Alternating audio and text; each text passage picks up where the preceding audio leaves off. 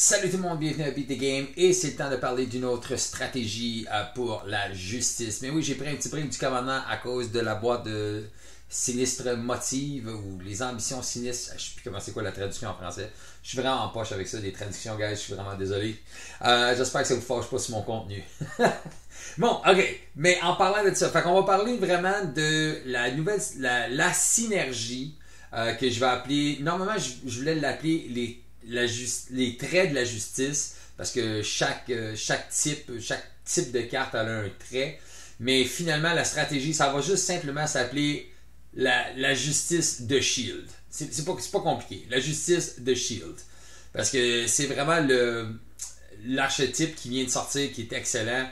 Mais il y a quand même des cartes qui synergisent avec les autres euh, traits. Euh, le trait gardien, le trait Avenger, le trait aérien, puis tout ça. Fait qu'on va parler de ces cartes-là en premier. On va parler de leur efficacité, euh, puis comment on peut comme synergiser avec ces cartes-là.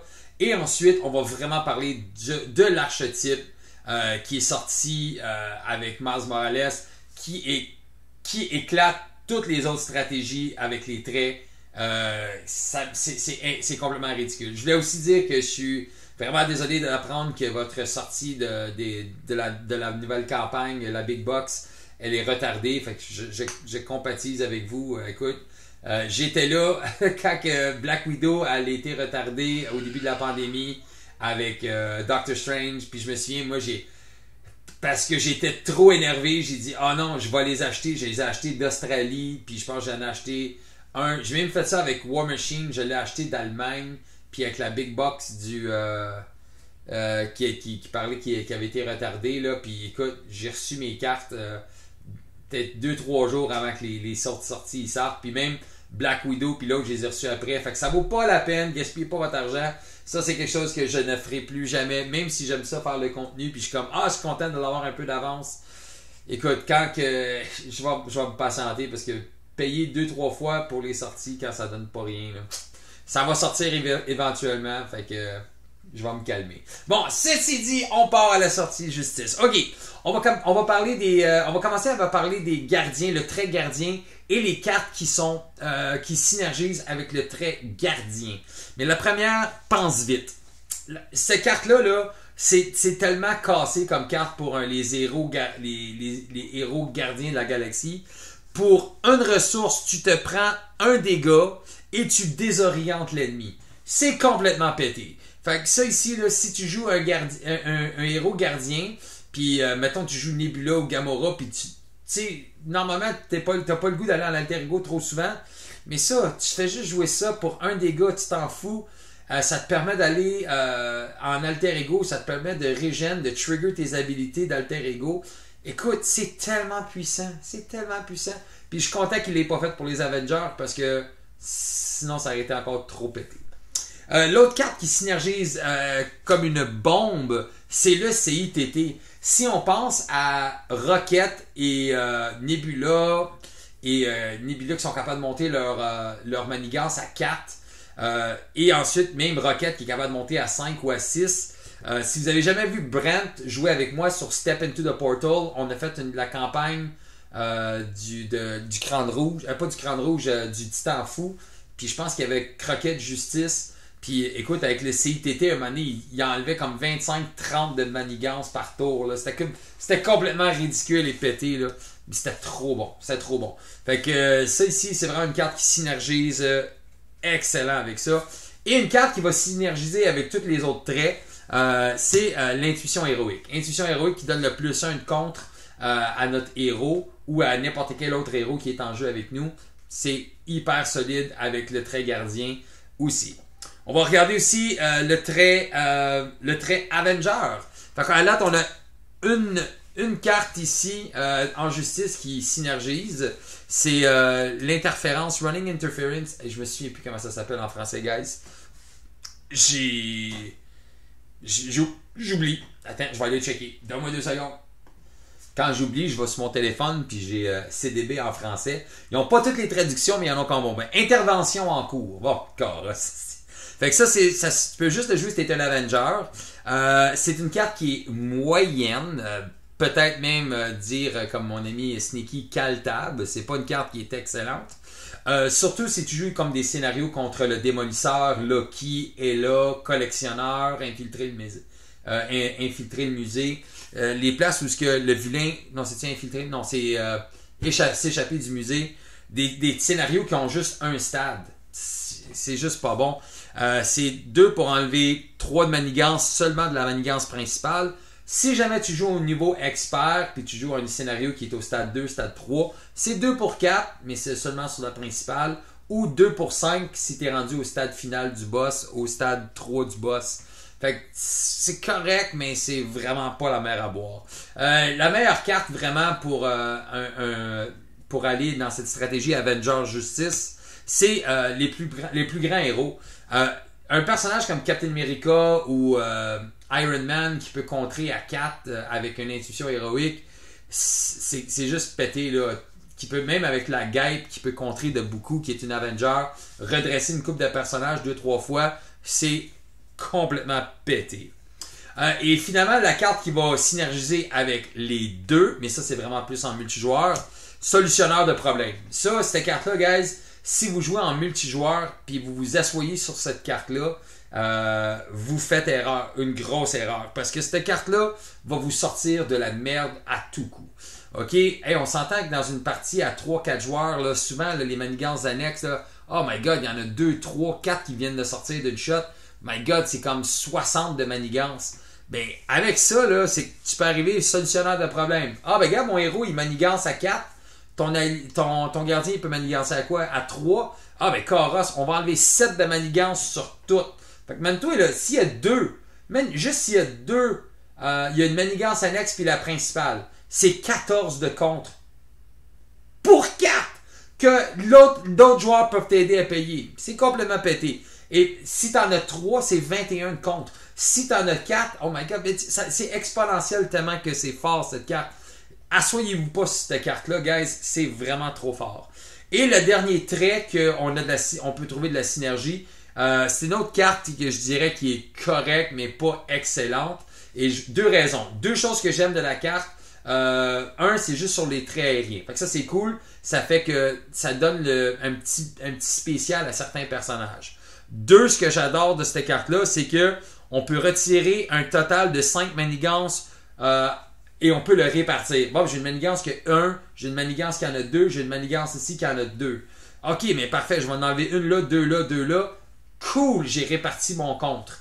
Fait que ça, je trouve ça vraiment, vraiment cool. Euh, juste pas oublier un petit bémol, s'il y a une manigance annexe avec un icône de crise, tu ne pourras pas enlever de la principale, même si tu enlèves l'icône de crise, parce que tout l'événement se fait en même temps. Alors, tu peux pas dire, ah, ben, je vais enlever un là, parfait, j'enlève ça. non, toute, l'action se fait en même temps. Fait que juste se souvenir de ça. Et le seul bémol que je trouve avec la carte, c'est son coût la carte, elle aurait coûté 2. Ça aurait été une carte qui aurait été jouée euh, incroyablement beaucoup, beaucoup plus que elle est jouée en ce moment. Fait que ça, pour moi, c'est juste le petit bémol que je trouve un peu triste. Mais écoute, c'est sûr que si tu as un. Euh, euh, je me souviens plus, c'est quoi la carte là La carte qui fait que ça te coûte un de moins là. Attends, je l'ai ici à quelque part. Là. Comment ça s'appelle cette maudite carte là Sens de la justice. Ben, au moins là, elle coûte techniquement deux. Fait que tu sais, fait qu'il y a des, façons de réduire le coût avec un pouvoir de la justice, ça coûte juste deux cartes le faire. C'est quand même pas trop pire. Mais c'est juste son coût qui me gosse un petit peu. Bon, et là, ça c'est bon pour ça. On va on arrête de parler des autres. C'est fini, vous autres, des carrosses. Euh, un trait qu'on n'a pas, puis ça c'est un petit bémol, un trait qu'on n'a pas vu encore euh, de cartes qui peuvent synergiser, puis on va se croiser les doigts que ça va arriver un jour les défendeurs. Ça, ça va être cool. Euh, j'ai hâte de vraiment voir si on, va, on va trouver des cartes qui vont synergiser avec les defenders, les champions, puis tout ça, qui s'en viennent là, dans, la prochaine vague, les web warriors. Fait qu'on va voir si on va avoir des cartes qui vont vraiment synergiser avec ça bientôt. Bon, on va commencer à parler des nouvelles cartes. Et là, on parle de Justice de Shield. Toutes les autres, on a vu, il y a deux, trois cartes c'est pas bon. C'est correct, mais c'est pas bon. Ben, c'est pas que c'est pas bon, c'est très limité. C'est très limité. Le paquet de Miles Morales, il arrive, il te présente un paquet de nouvelles cartes. Je pense que c'est 6-7 cartes qui font que la synergie, elle est complète one shot. Elle offre tout, tout, tout ce que tu as besoin. Et on va, on va commencer avec la première carte. Euh, la première carte qu'on va jaser, c'est un événement au coup de zéro qui s'appelle Intervention de l'agence. Je vais juste rapprocher ma petite caméra ici. Intervention de l'agence. Euh, c'est une carte de tactique. C'est une tactique avec le trait Shield pour coup de zéro. Euh, c'est une action qu'on peut épuiser jusqu'à trois cartes de Shield qu'on contrôle et on choisit une manigance. On retire deux, une, une manigance annexe. Non, une manigance, tout court. on choisit une manigance et on retire deux de manigance, deux de menace de cette manigance. Et écoute, pour chaque carte épuisée. Juste le fait, été 0 pour 2, ça aurait été pété. Pourquoi ça aurait été pété? Parce que ça se fait en alter ego. Là, le fait que tu peux mettre ça 2, 4 ou 6 fait que cette carte-là te permet d'aller de rester en alter ego et de ne pas être méchant avec les autres coéquipiers. C'est parfait pour du solo parce que la, la manigance, ça monte pas tant que ça. Mais c'est aussi bon pour du 2 joueurs, voire jusqu'à du 3 joueurs. Euh, à 4 joueurs, peut-être que. Mais c'est encore fort à 3. C'est 0 pour. C'est 0 pour 6. C'est complètement pété. C'est 0 pour 6. Même à 4 joueurs, c'est bon. Oui, ça, ça te demande d'avoir un petit peu un setup, mais c'est quand même 0 pour 6 de contre. C'est complètement mon gars. OK, fait ça, c'est la première carte qu'on va on a jasé. La prochaine, logistique globale. Et là, c'est une autre carte. Là, on parlait de, contrôle. Là, ici, c'est encore plus de contrôle. Logistique globale. Au coup de zéro, un événement tactique de Shield qui dit action, épuiser une carte Shield que tu contrôles. Après ça, regarde le top 4 cartes du deck d'un joueur ou du deck rencontre. Défausser n'importe quel nombre de ces cartes ou mêler sur le dessus ou euh, en bas de la librairie. Alors ça ici, si on, d'habitude quand on regarde un deck, on doit rebrasser. Celui-ci ici, ça nous dit, hey, fais ce que tu veux. T'aimes pas les cartes, colle-les aux poubelles. T'es aimes, Parfait, garde-les, c'est des cartes faciles à gérer. Cool, garde ça là. Tu les aimes pas, tu peux les mettre en dessous du deck pour pas accélérer ton euh, le, deck du vilain trop. Fait que ça, logistique globale, c'est le pouvoir de l'information. L'intervention de l'agent, je te dirais, deux dans un deck, c'est correct. Mais logistique globale, tu peux en mettre. Attends une seconde, Luke. Logistique globale, mets en trois dans ton deck, tu seras jamais déçu. Ok, bon, comme je disais, vraiment une carte qui est hyper puissante. Définitivement une carte à mettre 3 dans un deck. OK. On va parler maintenant des cartes de soutien qui nous sont présentées. Fait que le premier, c'est euh, l'agent de terrain. Bon, l'agent de terrain, c'est une carte de soutien qui coûte 1. C'est une personne de shield qui utilise trois compteurs de euh, backup. Euh, je, écoute, je pas vu la traduction là. Euh, mais l'agent de terrain, fait que les, compteurs d'utilisation, quand il n'y en a plus, vous défaussez la carte. Juste se souvenir de ça. N'importe quoi qui a le mot-clé utilisation, quand il n'y en a plus, on le défausse. Mais ce qui est le fun avec ça, OK, c'est un, on va regarder interruption de héros. Alors ça, c'est vraiment important. Interruption de héros seulement. Quand un, un, allié shield se prendrait du dégât de conséquence, on peut épuiser l'agent de l'agent de terrain et retirer un compteur de backup euh, et de prédire un de ses dégâts. Alors là, ça c'est excellent. Fait que si tu veux, tu les mets sur la table, ils vont prévenir des dégâts sur tes personnages. c'est complètement pété, C'est complètement pété. Puis on va regarder c'est quoi les personnages shield qu'on a dans notre deck, puis qu'est-ce qu'on va pouvoir faire avec. Pas juste ça. Mais si on n'a pas d'alliés, c'est pas une carte morte sur le terrain. Parce qu'on peut quand même l'utiliser pour logistique globale et intervention de l'agence. On peut quand même l'utiliser pour ces genres de cartes-là. Qu'est-ce qui est le fun, c'est que tu vois la synergie des cartes ensemble déjà. Euh, ok, ben si tu pas en train de prévenir du dégât d'un de mes alliés, tu peux quand même m'aider à enlever du compte ou tu peux m'aider à regarder c'est quoi le top 4. Fait c'est ce qui est le fun que c'est dans la mentalité de Shield, les agents Shield sont partout puis ils font tout. C'est ça vraiment que j'adore de ça.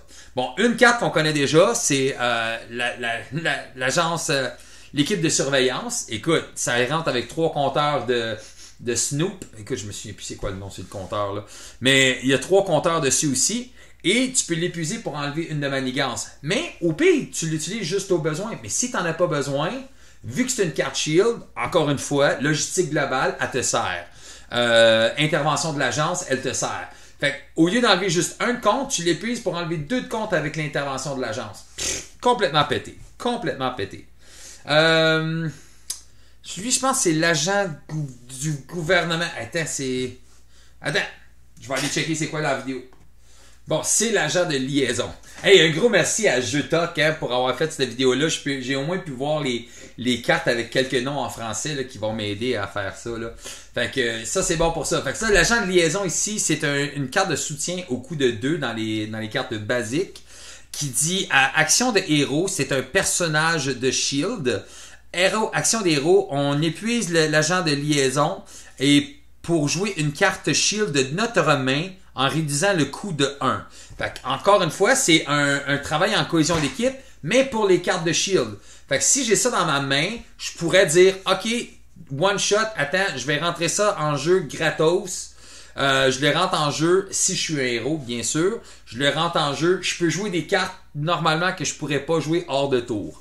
Fait que ça, c'est quand même cool. Encore une fois, l'agent de liaison peut nous servir pour l'intervention de l'agence, pour la logistique globale. Tellement pété. Tellement pété. Ensuite, on a notre héliporteur, évidemment, qui est une carte de shield qu'on peut réduire le coût avec notre agent de liaison. On peut réduire le coût après ça de la prochaine carte. Écoute, quand tu commences à synergiser ces cartes-là, c'est complètement pété. Ah oui, euh, petit bémol là-dessus. Je n- si- J'ai pas de limite sur les agents de liaison, mais je peux pas utiliser deux agents de liaison pour comme réduire le coût du héliporteur à 1. Là. Non, c'est une activation pour réduire le coût de la prochaine carte que je joue. Fait que c'est quand même cool parce que ce que t'arrives, c'est que ah ben je pourrais te donner une ressource, mais je peux pas le jouer tout de suite. Mais avec l'agent de liaison, je pense que le meilleur exemple, c'est le héliporteur. Attends deux secondes. Je vais incliner mon si t'es en mode héros, bien sûr. Je vais incliner mon agent de li- liaison, payer une ressource double. Tiens, je vais jouer mon héliporteur. Tiens, je te donne ta ressource que tu as besoin. Ah! Super combo multijoueur. Ça, j'aime ça. Moi, là, les, ce genre de synergie-là, là, ça me fait capoter. C'est ce que j'adore le plus de jeux. Euh, ok, le prochaine carte, faut que j'aille me souvenir là. Je pense que c'est, ah, c'est comment qu'elle s'appelait? Parce que je- il en parle pas, mais je la vois vite. Bon, je la vois vite dans la vidéo, mais je pense que ça s'appelle le torpilleur du ciel. Euh, c'est un- une carte de soutien qui coûte 3 euh, et c'est un véhicule de shield. Et je pense que c'est ma nouvelle carte préférée avec ça. C'est vraiment complètement pété cette carte-là. Ça dit réponse. Alors, que tu sois en alter ego ou en mode héros, ça va fonctionner. Après que tu joues une carte shield. Alors, une carte shield, ça peut être n'importe quoi. Ça peut être un événement shield, ça peut être une carte de soutien shield, ça peut être un allié shield. Ça peut même être. Allié, personnage soutien. Je pense pas qu'il y ait des améliorations Shield. Non, fait que c'est ça. Euh, Carte soutien, événement ou euh, allié, euh, tu vas pouvoir jouer ça. Et ça dit épuise le. L'affaire du ciel. là. Le, le- hey, Coros. Le torpilleur du ciel, Coros. pour incliner, pour faire deux dégâts à un ennemi. Et ça, c'était de- deux dégâts-là. S'il y un sbire qui est garde, mais tu peux passer à travers du garde et affecter le boss directement. Fait que ça, c'est vraiment une belle carte ici là pour les, euh, les, les personnages de Shield. Alors ça, encore une fois, je pense que c'est ma préférée. Puis on va avoir des belles synergies en plus qui s'en viennent avec ces cartes-là dans deux secondes. Bon, là, on va aller voir les alliés de Shield qu'on connaît déjà. On connaît Quake, facile. On connaît l'agent Colson, ok, qui va nous chercher des préparations. Puis je vais parler d'une coupe de préparation dans les cartes qui synergisent beaucoup avec la, stratégie. On a notre ami que tout le monde s'attend à Nick Fury, mais il en reste une qu'on connaît déjà. Est-ce que vous avez oublié c'est qui? C'est notre ami War Machine. War Machine, vraiment, vraiment, vraiment le fun avec War Machine. Synergie ici avec euh, l'agent de terrain. Fait qu'il rentre en jeu avec un, un, tenace, puis d'habitude, t'es là, ouais, mais je vais rentrer War Machine, je ferai rien avec tout de suite. Mais là, ce que tu peux faire, c'est que tu peux contrer, puis au lieu qu'il se prenne le dégât de conséquence, t'inclines ton, ton agent de terrain, Fait qu'il se prendra pas le dégât de conséquence. Ça va, ça va enlever son. Euh, ça va, il, il, se prendra pas le, le dégât de conséquence, fait qu'il perdra pas son tenace et il va pouvoir te servir euh, comme bloqueur. Alors ça, c'est quelque chose que j'adore quand je vois des synergies comme ça. Euh, super le fun. Bon, ça, c'est des alliés qu'on connaît. Là, on va regarder les alliés qui sont euh, présentés, des nouveaux alliés qui, sont, qui nous sont amenés dans, ce, euh, dans cette stratégie. La première, Monica Chang. Monica Chang, là, euh, on dirait qu'elle coûte cher pour qu'est-ce qu'elle est, mais pensez, quand tu la regardes, là. Monica Chang, c'est un allié qui coûte 3, un compte, un d'attaque, personnage de Shield, ok, avec deux points de vie. Déjà là, t'es comme, ouais, c'est un bloqueur, ça. Mais, qu'est-ce qu'elle fait? Réponse. Après que Monica Chang entre en jeu, cherche ton deck, ta main et ta défausse pour une copie du, de l'équipe de surveillance et mets-les en jeu. Mets-les en jeu, en jeu, mets-les en jeu. Alors, c'est pas mets-les dans ta main, non, c'est mets-les en jeu. C'est excellent. Ensuite, place un compteur de Snoop, euh, un compteur de, écoute, je sais plus c'est quoi là, euh, sur chaque, chaque équipe de surveillance que tu contrôles. Alors, le combo avec ça, et pensez-y, l'équipe de surveillance, ça coûte 2 à mettre en jeu. Mais 2, fait que, ça coûte 2, fait que réellement, ça coûte 3, parce qu'elle, elle se compte comme une carte. Fait que ça coûte techniquement 3. Fait que si tu y penses comme ça, Monica Chang, c'est un 2 pour 1. Oui, elle te coûte 4, mais tu vas te chercher une carte à 3. Que c'est vraiment, vraiment fort. Là. Et en plus, si tu as d'autres euh, équipes de surveillance, mais là, tu peux combiner ça puis mettre d'autres compteurs là-dessus. L'autre chose qui est bien, c'est que si tu as une équipe de surveillance qui reste seulement un compteur dessus, c'est que tu l'enlèves, tu euh, enlèves un de manigance, tu le mets dans ta défausse, tu joues elle, tu le ramènes avec 4 et tu recommences la, mécanique. Pour moi, Monica Chang, avec cette stratégie-là, c'est auto-include, c'est vraiment, vraiment fort. C'est, à contre à 2, 3, 4, 5, à peu, à peu de contrer, là, si tu as trois équipes de surveillance en, en jeu, c'est techniquement être contre à 4 dans un tour. parce qu'elle rentre en jeu, elle en met un sur toutes. c'est juste pété. Bon, là, si euh, l'allié que je trouve le peu le moins solide pour cette stratégie, c'est Spider-Woman, qui est quand même rare parce que j'adore le Spider-Woman personnage. Elle a le trait Shield et le trait euh, euh, Web Warrior, guerrier de, toile. J'espère qu'ils le traduiront pas de même. Guerrier de toile. OK? Elle a un de compte, deux d'attaque avec deux dégâts de conséquences. Elle a 3 points de vie. Elle s'est dit, euh, je peux réduire le coût pour jouer Spider-Woman de 1 pour chaque ennemi désorienté en jeu. Bon, c'est sûr que c'est cool avec Miles Morales parce que lui a accès à du désorienté. Fait que techniquement, il peut en désorienter un ou deux personnages. Fait qu'elle elle peut coûter genre 1. Fait que c'est quand même très intéressant. Euh, mais à part de ça, pour la stratégie, si tu veux rester en alter ego, souvent, c'est vraiment pas un allié de choix. Quake a, fait du dégât à des sbires euh, quand, quand les sbires manigancent, même si manigance de zéro. Euh, Agent Coulson va te chercher une préparation. Nick Fury peut faire 6 dégâts quand il rentre. Euh, lui, il contre à 8 techniquement si tu gardes son tenace, puis il peut bloquer. Fait tu sais, il y a tellement de bonnes choses. Elle, a fait juste rien. Fait que c'est pour ça que pour moi, cet allié-là est vraiment genre. Ok, ensuite, on va parler d'un des alliés basiques de Shield qu'on a. On en a deux de plus. La première, Agente 13. Un allié euh, au coût de 4, qui n'est pas donné. Euh, Agente 13 à coût de 4. Euh, elle a deux de compte avec un de conséquence et une étoile. Un d'attaque avec une conséquence et une étoile. C'est une shield et une espionne. Fait que si tu veux jouer des cartes comme tactique d'espion, le spycraft, puis des cartes comme ça que tu peux seulement jouer ou espionnage, que tu peux juste jouer si as des cartes espion, elle a compte comme, euh, comme Nick Fury, comme euh, Agent Coulson. C'est quand même cool, elle te permet de synergiser avec d'autres petites cartes de préparation. Euh, l'autre chose aussi, elle dit la réponse. Fait que la petite étoile, c'est une réponse. Après que l'agent 13 attaque ou contre, choisis une carte de soutien Shield et redresse cette, cette carte de redresse cette carte de soutien. Mais là, oh my god, écoute, on regarde les, les, combos qu'on a avec ça. Là avec le héliporteur. Mais moi, mon combo préféré, c'est avec le... Euh... Ah, la mitrailleur du ciel. Écoute, pourquoi je pourrais de me souvenir des noms? Euh... Ah, c'est pas grave. En tout cas, la carte ici, là, le, le destructeur du ciel. Pourquoi je suis plus capable de m'en souvenir? Ou le héliporteur. Euh, je vais m'en souvenir un moment donné, là, c'est juste parce que j'ai.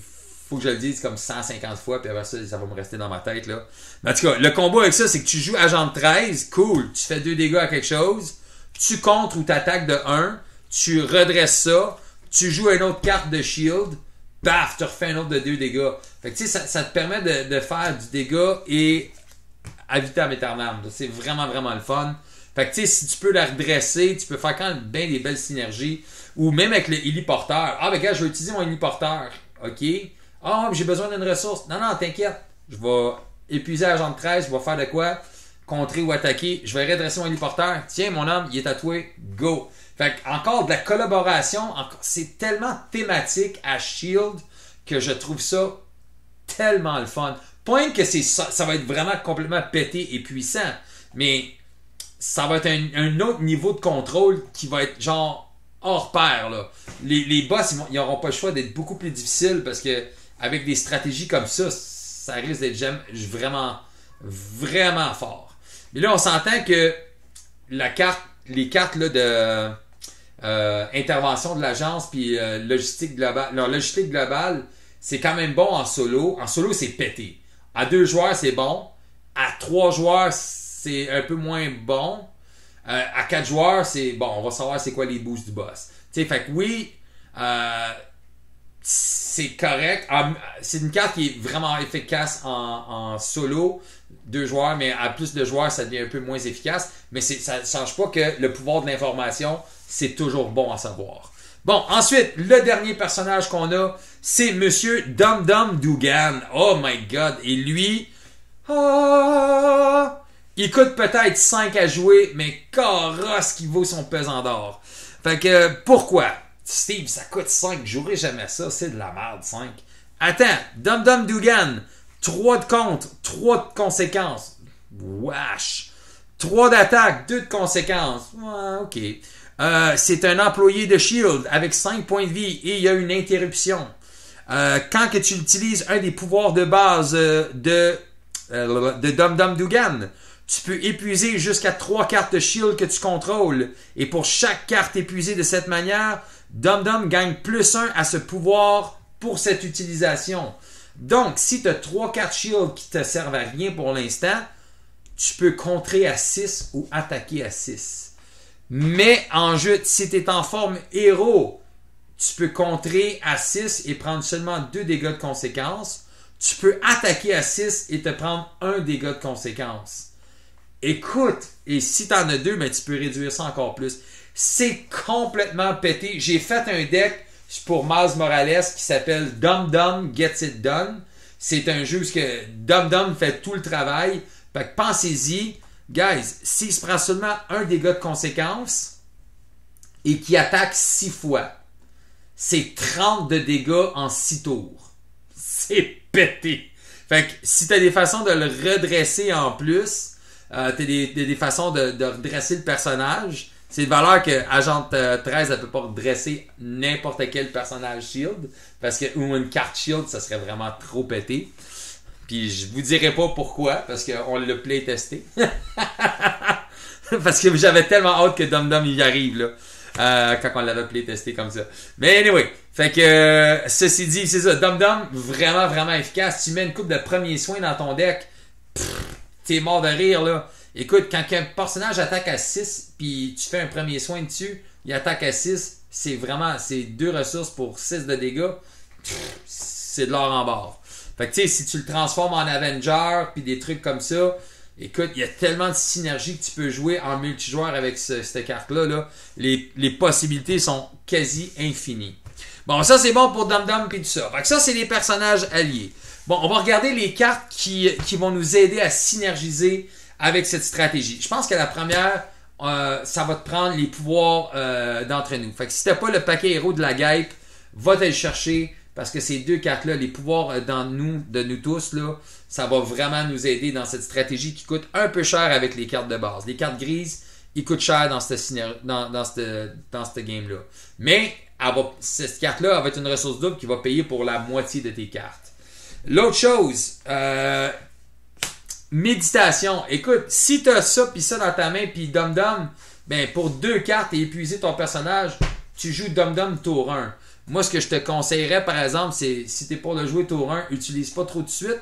Attends qu'il soit, euh, soit un petit peu plus rentable quand tu peux épuiser des personnages de Shield. Mais juste te dire que la possibilité est là que ton Dum Dum Dugan, il te coûte vraiment pas cher. Ensuite de ça, en, parlant d'événements qui vont être super utiles pour cette stratégie, euh, neutraliser. Neutraliser, tu vois, ceux-là, parce que je les ai joués souvent, je m'en souviens.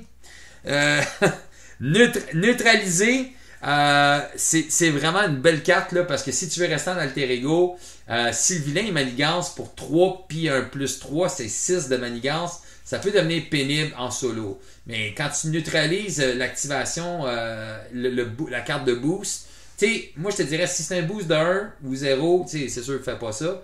Mais si c'est un boost de 2 ou de 3, mais là ça commence à valoir la peine d'utiliser un neutralisé.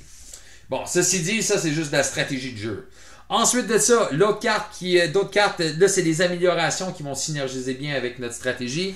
Euh, poursuite, euh, euh, poursuite là, écoute, tu mets ça sur une manigance annexe, tu laisses ça là. Ah bon, la manigance annexe, écoute, avec intervention de l'agence. Bon, parfait, je vais épuiser deux cartes shield. Fait que là, j'ai épuisé mes cartes shield, j'ai contré à 4, et là, je peux faire 4 de dégâts n'importe où.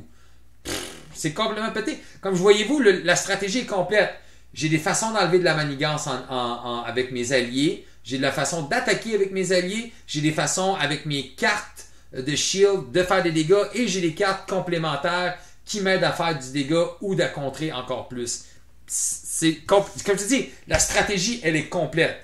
Euh, tactique d'espion, évidemment, c'est une carte que si tu peux juste la jouer si tu as des espions. Mais on a vu que Agent 13 est une espionne. Euh, Colson, puis tout ça, c'est une préparation. Fait qu'ils peuvent aller chercher ces cartes-là. Euh, encore une fois, entre ça puis euh, la, logistique globale, euh, écoute, faut vraiment que tu sois malchanceux pour, en solo, je parle, là, pour te prendre une carte qui va te ruiner. Là. Fait que voyez, c'est ça que j'essaie de vous faire comprendre. voyez-vous le contrôle que vous avez sur la partie maintenant en justice, c'est hors pair.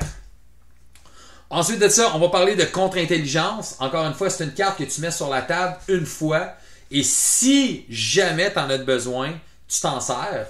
Mais euh, c'est une carte que oui, tu mets, en mets une dans ton deck, puis tu, la mets sur la table. Peut-être qu'elle va te servir, peut-être qu'elle ne te servira pas. Mais le fait qu'elle soit là, ça te donne un, un moment zen, puis te dire que, ouais, ben, je pense que je vais être correct. L'autre carte qui va aller dans un peu dans la même optique que ça, ça va être le sous-surveillance. Le plus 4 en solo, là, le, te donner ce plus 4 là en solo, ça te donne le temps de trouver les cartes que tu as besoin pour être capable d'arriver et faire du compte en masse. Oublie pas que si tu restes en alter ego, euh, ta, main est toujours plus grosse. Hein? Tu as, une main à 6 cartes souvent.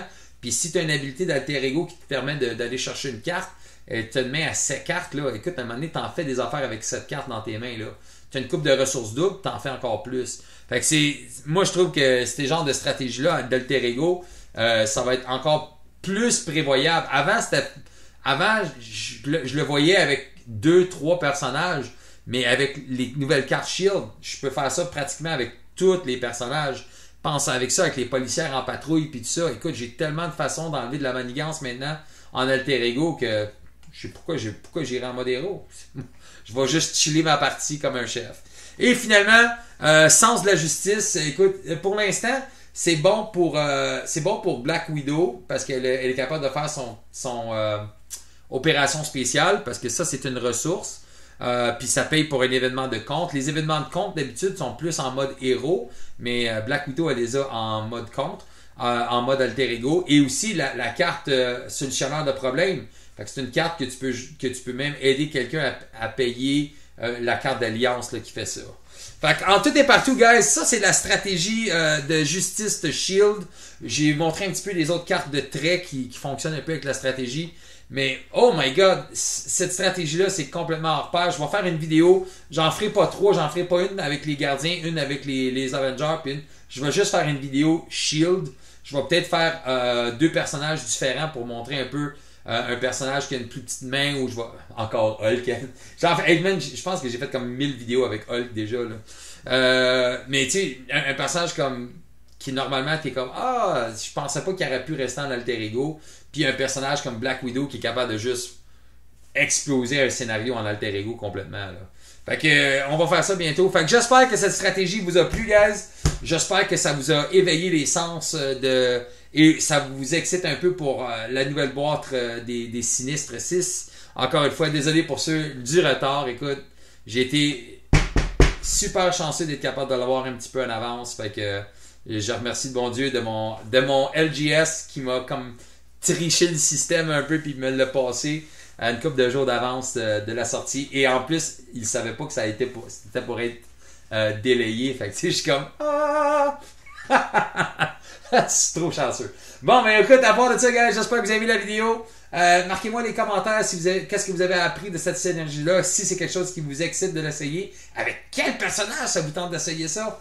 Et on se reparle plus tard avec la vidéo de la stratégie en action. Fait en attendant, continuez à Marvel Champions et j'espère que ces stratégies de la Justice euh, Shield vous aidera à beat the game. Ciao, ciao!